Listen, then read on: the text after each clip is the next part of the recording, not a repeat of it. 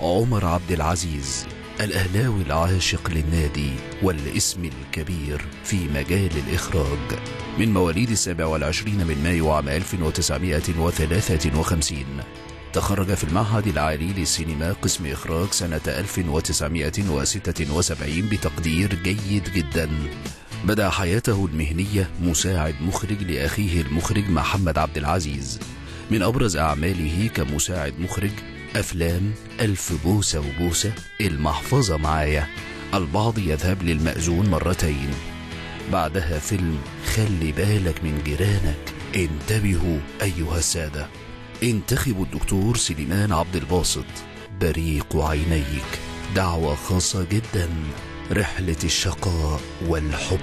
عصابة حمادة وتوتو للفقيد الرحمة. أخرج أول أفلامه دعوة خاصة جدا سنة 1982 وتضم قائمة أعماله كمخرج أفلام فرحان ملازم آدم. أشتاتا أشتوت كلام في الممنوع في الصيف الحب جنون. ليه يا هرم؟ اللعيبة محامي تحت التمرين الرجل الذي عطس. الشقة من حق الزوجة. يا رب ولد تجيبها كده؟ تجيلها كده هي كده. اتجه محمد عبد العزيز منذ سنة 2002 إلى الإخراج التلفزيوني.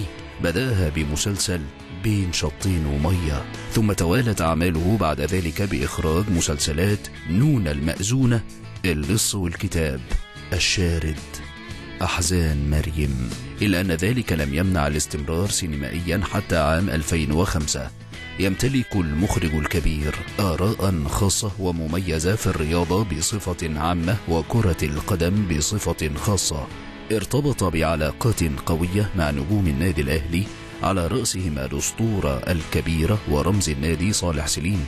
قام بتوصيله إلى المطار للسفر إلى جوهانسبرج لاستلام جائزة نادي القرن من الاتحاد الإفريقي. جماهير كرة القدم عشق ارتبطت بعمر عبد العزيز من خلال أفلامه التي شهدت مشاركة العديد من النجوم الكبار. من أبرزها الفيلم الشهير رجل فقد عقله حيث عمل مساعد مخرج لشقيقه الأكبر محمد عبد العزيز. شارك في الفيلم الذي عرض في الرابع عشر من إبريل عام 1980 العديد من النجوم من أبرزهم. فريد شوقي سهير رمزي عادل إمام كريم مختار. بالإضافة إلى حارس مرمى النادي الأهلي وقتها إكرامي.